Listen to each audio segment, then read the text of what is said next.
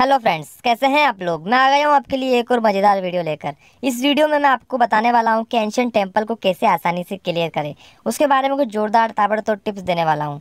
तो वीडियो को पूरा देखिए, वरना सालो मम्मी की कसम लगा दूँगा। तो चलिए शुरू करते हैं।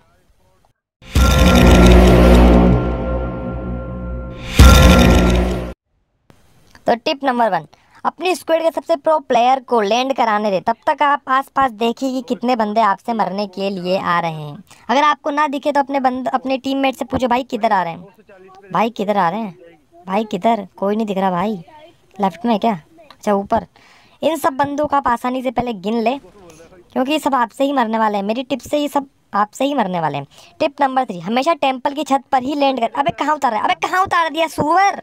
ये कहाँ खेतों में पटक दिए थे टिप की ऐसी की तैसी, पहले भागो। भागो भागो भागो भागो भागो, भाई, गन ढूंढ, पहले कितने बंदे हैं। भाई भाई भाई कुत्ता कुत्ती चल रही बाहर। सबसे पहले अंदर जाके गन ढूंढे। एक बंदा अपना नॉकआउट हो गया। सबसे पहले गन ढूंढो, कोई गन नहीं मिल रही, गन मिल गई। एक बंदा आ रहा है, भाई, बंदा आ रहा है, बंदा आ रहा है, बंदा आ रहा है। सूद दिया सूद दिया सूद दिया, भाई सूद दिया। माथा फोड़ दिया। करवा ली बेज्जती बोला था साला, ये वाली टिप, क्लिप काटने को। भाड़ में गई साली टिप। सबसे पहले नूबड़े को लात देके टीम से किक आउट करें। ये लोग कैंसर है साले पबजी में। और प्रो प्लेयर के साथ ही खेले। चाहे वो फ़ोन करके आपको गंदी गंदी गाली देने लगे और उधार पैसे वापस मांगने लगे। अबे ये क्या बात हुई? भाई पैसा कहाँ से बीच में आ गया? ये क्या बात हुई?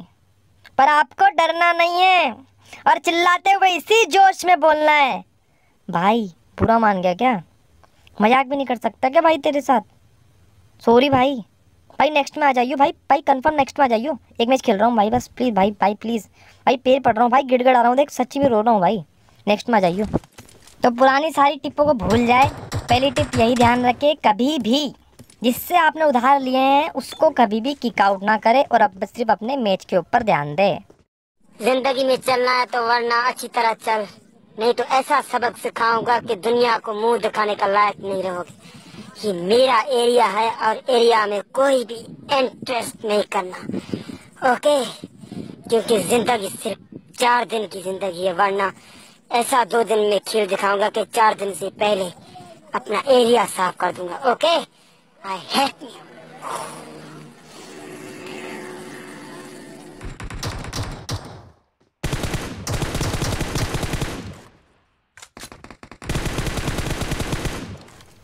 लो, और फोर एक्स स्प्रे भी नहीं हो रहा। आई हेट मी टू भाई। हर जगह बेइज्जती होती है। मैं चाहूँ तो अभी इसके मुँह पर पैसा फेंक के मारूँ, और उसके लिए पैसा हो भी तो सही। और पापा ने एटीएम का पिन भी चेंज कर दिया है। पापा ने ये बहुत गलत किया मेरे साथ। अब आप ही बताओ, आपके मीनाक्षी लॉटरी में नई वाली स्कॉर्पियो निकले, और आपको बस एक लाख रुपए डॉक्यूमेंट के लिए वेरीफाई के लिए देना पड़े। तो भाई क्या गलत कर दिया मैंने कार्ड डिटेल्स दे के? इसमें पिन चेंज करने वाली कौन सी बात आ गई? मुझे तो पापा का समझ नहीं आता। तो अब पापा की बातें छोड़ो और मैच को जल्दी से ख़त्म करके वापस पुराने प्रो प्लेयर के साथ खेलो। वरना बेटा वो घर आ गया ना पैसे मांगने और आपके बाप को पता चल गया।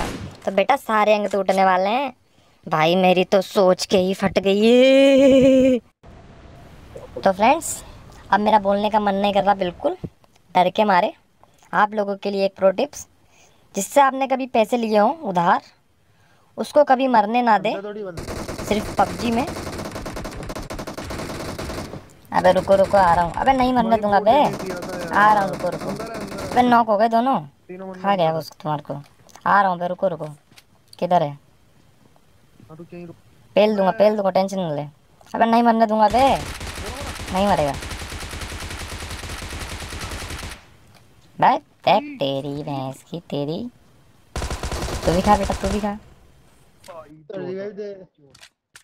अबे जल्दी जीतू रिवाइव दे रिवाइव दे। अबे रिवाइव दे नाइस नाइस नाइस जोरदार छोड़ टाइम पे बाहर आके छुट्टियाँ बस तो फ्रेंड्स आज के लिए बस इतना ही। ये सब तो चलता रहेगा।